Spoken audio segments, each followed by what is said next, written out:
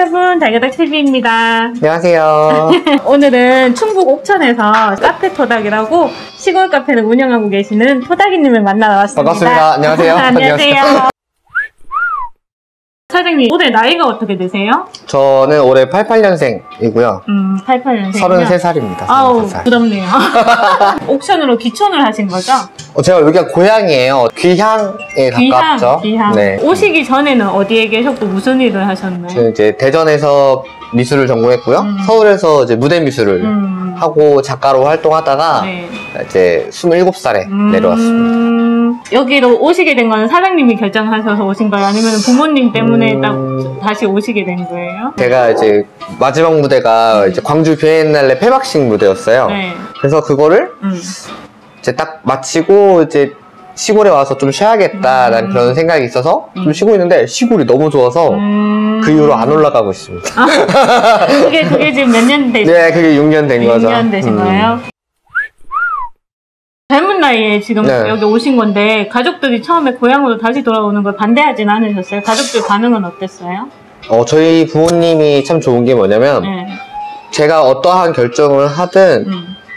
그렇게 뭐 반대를 하거나 그렇지를 않으세요. 음. 그래서 네, 여기 와서 좀 살고 싶다 하니까 음. 어 그러라 그렇게 음. 속으로는 걱정하셨겠지만 음. 겉으로는 저를 좀 응원을 많이 해주셔가지고 음. 적응하기도 좀 훨씬 쉬웠던 것 같아요. 음. 후회 없으세요?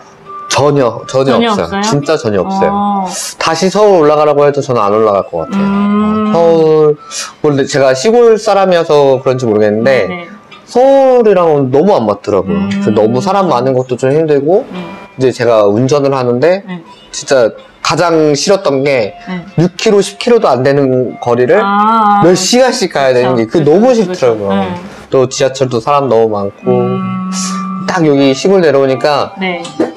일단 귀가 너무 편해서 좋았어요. 음. 눈 귀가 너무 편해서 음. 마음이 좀 여유도 찾고 그랬던 것 같아요. 음. 다시 고향으로 오신 이유가 목적 자체가 그렇게 그렇죠. 처음엔 뚜렷하진 네. 않으셔서 쉬시려고 왔다가 그죠? 네. 아, 누가 27살에 귀농을 하겠다고 그러니까, 생각을 그러니까. 해요. 아. 그 사람들이 엄청 놀랬어요. 그래서 네. 내려왔는데 시골이 너무 좋으니까 네, 네.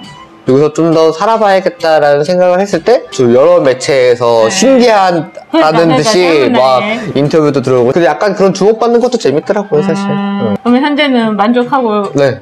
도전하신 거 너무너무 맞죠? 만족하죠. 음. 뭐, 솔직히 막, 많이 뭐 돈이 나간다거나 그런 것도 네, 적고, 적고. 네. 음. 그리고 뭐 일단 뭐 문화생활이나 그런 거를 즐길 수 없을 거라고 생각을 하시는데 네. 여기서 10분, 20분만 나가도 바로 대전이고 네. 위로 청주로도 30분만 가도 음. 청주로 갈 수 있거든요. 음. 그럼 그런 건 좀 저는 그런 불편함을 솔직히 느끼지 못했어요. 음. 그러면 어떻게 지내고 계신가요? 평소에 어떻게 여기서? 평소에는 이제 토닥이라는 카페를 운영하면서 네네. 이제 저는 또 학교 마을 교사예요. 어. 네, 마을 교사라서 아이들이랑 이제 벽화 네. 그리는 거를 네. 많이 하고 또 이제 대학교 수업도 나가고 음. 또 이제 벽화 의뢰도 들어오면 네네. 이제 의뢰도 하고 어. 또 이제 지역 청년 활동도 네. 많이 하고 있고 음. 이제 청년 네트워크에서 활동하는 이런 정책 같은 것들을 올리는 그런 활동도 음. 있어요. 그런 것도 하고 봉사 활동도 하고 오히려 서울에서 했던 것보다 더 바쁜 바쁜 나는 거. 바쁜 그러면 보내는 것 같아요. 수익도 되시는 거예요? 그런 어, 활동들이? 그럼요 수익도 되는데 대부분은 이제 여긴 청년이 워낙 없으니까 네. 그런 청년들이 이런 활동을 해줬으면 좋겠다고 그쪽에서 먼저 저를 음. 해, 해달라고 해주시기 때문에 네. 가서 좀 제 이제 미약한이나마 힘을 좀 보태고 있죠. 어, 보통 귀농귀촌 하면 수익이 어떻게 될지 몰라서 잘 두려움에 아, 그렇죠. 못하는 맞아요. 경우가 많은데 맞아요. 사장님은 지금 수익 활동까지 이어지시고 계시니까 그렇죠. 좀 적응하기도 쉽고 좋았겠네요. 일단 이제 저는 미술을 전공했지만 네, 네. 카페라는 거는 아예 동떨어진 그쵸. 거잖아요. 그래서 이 커, 커피로만 이제 수익을 창출하는 것이 부족할 수도 있, 음. 는 부분이 있거든요. 근데 저 같은 경우는 이제 미술을 활용해서 음. 미- 여기 안에 와서 그런 제가 할 수 있는 역량을 최대한 음. 발휘를 해야겠다라는 음. 생각이 있어서 또 여기는 없기 때문에 음, 그런 네. 활동을 하는 분이 네, 없어서. 없어서 이제 뭐만 하면 다 저한테 연락이 오시죠. 음. 기농기촌 하기 전과 후의 변화가 있다면 어떤 게 있을까요? 제일 좋은 거는 건강. 건강. 어, 첫 번째는 건강이 제일 좋아졌다고 생각해요. 저는 건강이 어떻게 안 좋으셨어요? 저는 이제 무대 미술을 하다 보면은 이제 네. 정말 온몸에 페인트 칠을 하고 음. 일을 하거나 또 먼지가 굉장히 많은 곳에서 일을 하거나 뭐 물론 일은 진짜 재밌거든요. 음. 하지만 그런 이제 기관지나 그쪽이 굉장히 안 좋아지고 야간 작업하는 경우가 굉장히 많아요. 근데 그럼 그때 뭐 그때는 뭐 새벽 2시까지 일하고 아침 7시에 출근하고 막 음. 그런 게 되게 대다수였는데 음. 시골 내려오면 뭐 내가 일어나고 싶을 때 일어나고 사실 음. 퇴근하고 싶을 때 퇴근하고 그러거든요. 그런 것들이 건강에 제일 좋았고 음. 두 번째는 이제 마음이 되게 되고. 편해요. 뭐 화낼 일도 없고 음. 짜증나는 일도 없고 음. 느긋해지니까 뭐 신경 쓸 일도 그렇게 많지 않고 어, 젊은 층들이 이렇게 음. 관심을 가지면 예비 기농촌들이 젊다 그러면 음. 해주고 싶은 얘기가 있나요? 젊으신 분들이 사실 네. 좀 많이 물어보거든요. 네. 어 기농하시라고 네, 네, 네. 여기 시골 너무 좋다고 네. 하지만 와서 할 게 없어요. 그러니까요.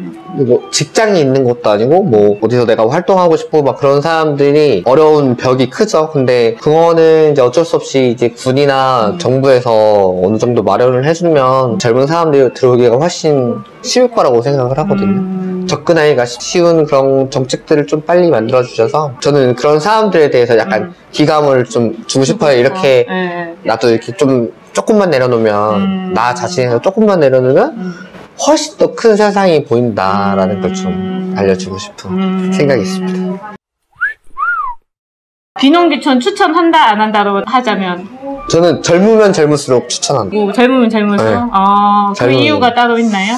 사실 이제 나이가 좀 있으신 분들이 기농기촌 하실 경우에 네. 쉬시려고 많이 와요. 그쵸. 쉬고 음. 이제 텃밭 정도 가꾸고 하시려고 많이 오시는데 그쵸. 그분들이 이제 이 시골 안에서 사회적인 인프라를 생성하고 그런 이제 생산적인 활동을 하시는 게 아니라 좀 정적인 활동을 하시기 때문에 좀 아쉬운데 젊으면 젊을수록 음. 이 시골이라는 곳을 좀 더 액티브하게 바꿀 수 있다고 생각을 하거든요. 음. 바꿀 게 너무 많아요, 사실. 음. 근데 이제 못하는 음. 거죠. 인력이 딸리니까 그쵸, 그쵸. 혼자서는 다할 수 없는 그쵸. 부분이 있으니까. 그래서 꼭 젊으신 분들 오세요. 근데 젊은 때 못 오는 이유가 아까 얘기 드렸듯이 수익 활동이 여기 시골에서는 한정적이니까 그쵸. 예, 오기 힘들 건데 그래서 마음을 먹기가 쉽지 않은데 사장님처럼 이렇게 카페를 한다거나 시골에서 음. 요런 요런 걸 추천하시는 건지 아니면 그냥 계획을 갖고 와야 되잖아요 정확히 그렇죠. 시골에서 저도 계획을 음, 하고는 있는데 음, 어, 마을 기업이라는 음, 기업을 만들어서 음. 이제 농산물을 음. 가지고 제 2차 가공을 해서 음, 이제 인터넷 판매를 한다거나 음. 작은 쇼핑몰을 만든다거나 뭐 그런 식의 이제. 생각을 하면 팔로우는 많아요. 사실 음. 요즘에 뭐 글로벌 시대고 음. 인터넷도 워낙 잘 되는 시대이기 때문에 뭐 하려고만 하자면 할 수 있는데 이제 혼자서는 못하니까 이제 네. 마을 기업 같은 것도 만들면 음. 정부에서도 지원을 많이 해주고 음. 또그 다섯 명만 모이면 할 수 있거든요. 음. 근데 어. 다섯 명이 없어요. 그렇죠. 네, 어. 그래서 이제 생각만 있고 계획만 있으시면은 충분히 하실 수 있- 있어요. 음. 그래서 가까운 금산 같은 경우는 음. 그렇게 하고 있는 그 단체도 있긴 있어요. 근데 여기 옥천에도 옥천은 있어요? 없어요. 안타깝네요. 여러분 오세요. 다섯 명 만들고. 장점은 여기가 월세가 쌉니다, 여러분. 아, 월세가 어, 싸다. 고정비 지출이 적기 때문에 음. 맘만 먹으면 뭐. 그럼 사장님은 지금 여기 고향에 오신 거니까 텃세는 걱정이 없으시잖아요. 네. 텃세 걱정인 분들도 많거든요. 그런 부분은 어떻게 생각하세요? 제가 팁을 팁을 하나 드리자면 네, 네. 인사만 잘하면 텄어. 아, 그거는 와, 음. 그렇지 근데 않아요? 인사를 잘해도 음. 다른 텃세가 생길 게 없나요? 그런가요? 네. 근데 저는 그냥 어, 안녕하세요. 이렇게 아. 막그 막 일부러라도. 뭐 여기 대부분 어르신 분들이기 네, 때문에 그냥 반갑게 인사만 해드려도 좋아하시거든요. 음. 젊은 사람들 아 예쁘네 이렇게 맨날 하시고 음. 앞으로의 계획이 정해져 계신가요? 저는. 처음에 이 가게를 열 때부터 네. 꿈이 있었어요. 이 토닥이라는 가게가 음. 젊은 사람이 면단이 한 명씩은 있었으면 좋겠다. 음. 꼭 토, 토닥이라는 이름이 아니라 음. 뭐 그- 저 같은 이제 사회적 활동을 할수 있는 사람이 음. 와서 면 단위마다 있었으면 좋겠다라는 생각을 항상 갖고 있었거든요. 음. 그래서 꼭 카페가 아니더라도 오셔서 좀 저랑 얘기도 좀 하고 하셔서 음. 좀 젊은 사람들이 많이 나왔으면 좋겠다는 그런 계획을 갖고 있어요. 그래서 시골을 좀더 사람들이 많이 찾을 수 있는 그런 음. 공간이나 음. 장소로 만들고 싶은 음, 꿈이 있습니다, 여러분. 도와주세요. 현재 여기 많이 찾아오세요. 그렇게 네. 묻는 분들이. 네, 아. 많이 오시는데 아직까지는 좀 들어오신 것 같아요. 음. 그래서 그래도 이제 그나마 유튜브로 조금 이제 유명세를 타서 많이들 찾아오시는데 네.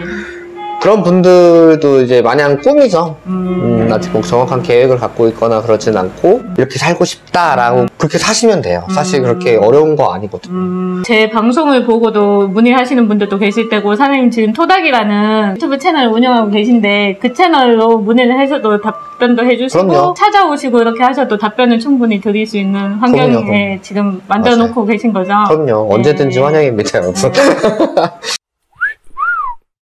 네. 마지막으로 기농기초는 이렇게 하면 좋고 이런 어려움이 있을 때는 어떻게 대응하면 좋은지 무턱대고 음. 아무 계획 없이 들어오지 마시고 음, 어, 먼저 제일 마음에 드는 마을을 음.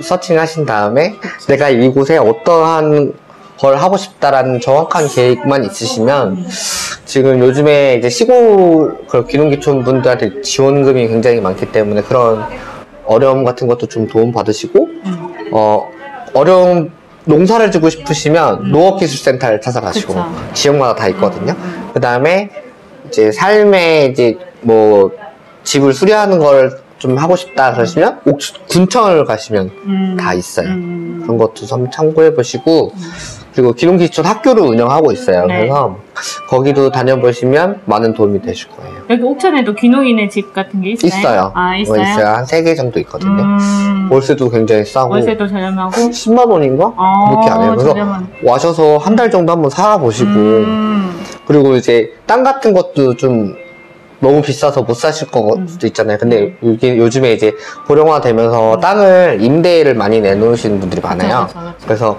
2,000평에 뭐 한 70만 원 이 정도밖에 하지 않으니까 음. 1년에 음, 네, 굉장히 저렴한 가격에 음. 농사도 한번 해보실 음. 수 있고 음. 한 1년 정도 계획이 있으시다면 그렇게 한번 살아보셔도 저는 좋을 것 같아요. 음.